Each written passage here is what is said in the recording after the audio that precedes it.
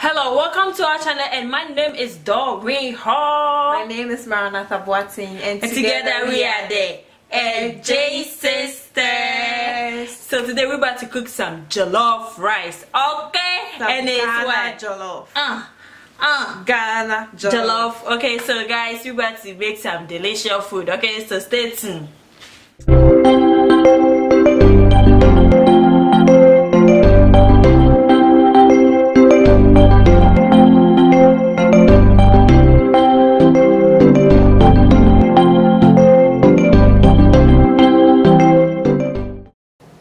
Mackerel. Can get it from the African market. Seasoning. Tomato sauce. Beef. Salt. Green pepper and carrots. Rice. Oil. It's time to cook. So um, this is the onions and pepper which we didn't show earlier. So um, for the sake of the people who are gonna eat, they don't like a lot of spice, you know, really Ghanaians. Yes. So we added. I just used only two pepper, Yeah, as you can see. But normally, if it was me, I'll use like eight. I don't like a lot of spicy. I like spicy. See the onion, I like a little bit. So I. So at this point, you're gonna blend the onion. Look at me blending the onion, okay? Your girl blended the onion.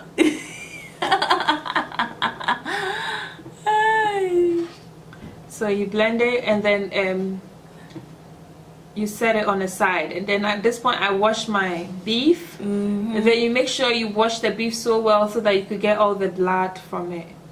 You don't want to eat no blood. Yes, and I like beef with well done cook. I like with no no blood beef. Mm-mm. Wash all the So blood. yeah, you put it you put it on the fire like that, and then here I'm gonna add my seasoning and my salt. Put some salt in So there. this is like um half a spoon, half a tablespoon of salt, Put and then I put the Maggi. Maggi on it to season it. And then at this point, I'm gonna add the blended onion and then the pepper. Pepper. Ooh, come on, spice. Put some spice in there. and then I'll stir it all, all up. And then I add a little bit of water because you know that's not gonna be enough to cook it. yeah. So me, this I, is like half a cup of water. yeah, me, I don't put uh, water in it. I just put a lot of onion, a lot, and I can cook. It it will cook. So yeah, so um, I I'm gonna start the stew for the jollof. I'm gonna warm it up a little bit and then add the oil to it. Not too much oil, just a little bit of oil. I like a lot of oil. I don't know why. Sometimes I put a lot of oil when I'm cooking jollof. Well, this this time you didn't put a lot of oil because I don't see why you should add a lot of oil. Then at this point you add your your onion and your pepper to it, and then you keep on stirring. You're gonna stir this for like a minute or two, maximum, to make sure um, the onion is well cooked, Yep. and then there's less water. So you see how the the it, you see how it's looking right now. It's cooking good. Onion, come on, come on, the food. So um, at this point, you add your mackerel to it, and then um, some people don't add their mackerel this early, but I prefer my mackerel to go in this early. So that's really how cooking is an art. So that's it depends on how you wanna do. it. I don't like mine like that. I cook mine when the food is almost done, then I put my macaroni. That's how I cook. So at this point, I break the mackerel into little pieces to make sure all parts of the stew is well absorbed with the mackerel. And then you stir it up for a little bit, and then I come back to make sure the beef is getting well cooked. So I stir the beef up a little bit. At this point, you see it's not completely done, so you stir it up some more to make sure all parts of the beef is getting cooked. Ooh, and it's the good- beef getting cooked lot. on a medium heat. The beef is a lot. Mm mm mm mm. The beef is a lot of beef. Or you cover it up one more time and then you make it cook. At this point, it had cooked for like five minutes. And this stew had been on the fire too for like seven to eight minutes. So I come back to stir it up a little bit. Jollof stew doesn't have to take too long to prepare because you know you're gonna cook, Cook the, the rice, rice. in it again. Right. You don't want to cook it too much and then all your nutrients from your ingredients is too cooked. Mm-hmm. I, my, I make sure that, oh, look at me. Look at you, girl. so you come back and then you add the tomato sauce at this point to it. And then this tomato sauce is um, very watery.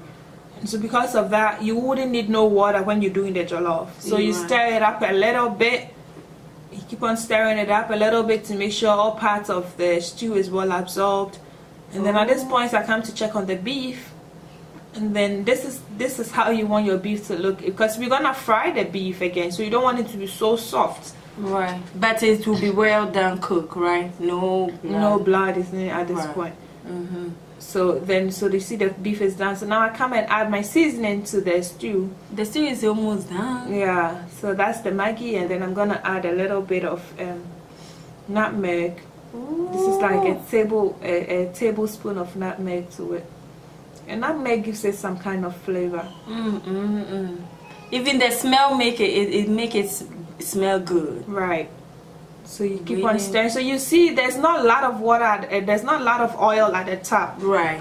Then at this point I add a little bit of salt. This is like half a spoon of half a tablespoon of salt. Mm -hmm. I think in Ghana we measure we don't measure the salt. I don't know. yeah we don't measure it's like with spoon or and it will come right. It and then I wash the rice at this point and then you wash the rice to get all the sometimes you have these little little dirty stuffs in the rice mm. when you wash it like this it comes out or sometimes some of the the little fibers come on top of the rice and then you let it go mm -hmm. so you wash it like two times and the stew is done at this point for jollof so you put your rice in it. Ooh, come on. And remember I told you that because of the tomato sauce is watery you're not gonna add no more rice. But if you had used tomato paste the stew would have been um, so thick that you'd have to add some water to it. But this one you don't need no water. Mm. and I wouldn't I didn't even need the broth but I needed um, the taste of the broth. So I'm gonna add a little bit of the broth to it. Yes.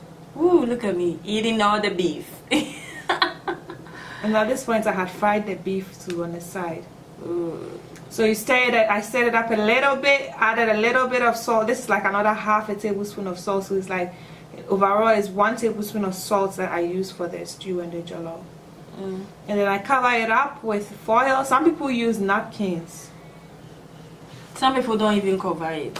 With nothing. They just cover it with a regular. Um, but I prefer to cover it with something because I feel like um, this helps my rice to cook better, especially if you're cooking jollof rice because jollof rice could be difficult to cook sometimes. Yes. It's very. So always cover it up with something, not just that. So I mm. use this. Some people use napkin. So I put it on for like five minutes, and then I came back to check. And after five minutes, this is how you. It's on medium heat. Remember, you don't cook jollof on high heat. At this point, it's on medium, Ooh. and then after this, I'll put it on low heat.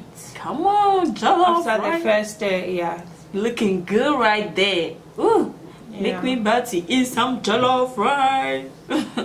this is looking good. It sure mm. is. Mm. So that so then after like three minutes, I came back to see, and now this is like almost cooked. It's like 70% cooked at this point. And then the jollof is really soft here. I usually don't cook a lot of soft jollof, but the people who are gonna eat it don't like hard jollof. So, you know, sometimes you have to think about the people who are gonna eat it and cook right, it to their taste. Right, because I don't like hard jollof. Make my jaw hurt. Okay. So at this point it's like 90% cooked and then I add my vegetables. I wait for it to be almost cooked before adding the veggies because I don't want it to be so soft. Right. You know, I want to eat all the vegetables. I want I want it to be crunchy. And some people put the vegetable in the stew and cook with the rice. Some people do that. And, and then at this point I'm going to add the beef. Remember I told you I had fried the beef? Mm -hmm. So I'm going to add the beef to it too because the, the food is done. Oh, look at the beef. Ooh, come on. Once you put the beef in like that, you stir a little bit. You don't stir like you're cooking stew.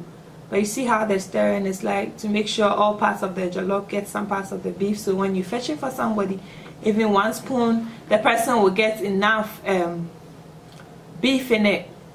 Ooh, this looking good. And that's it. I, it's done.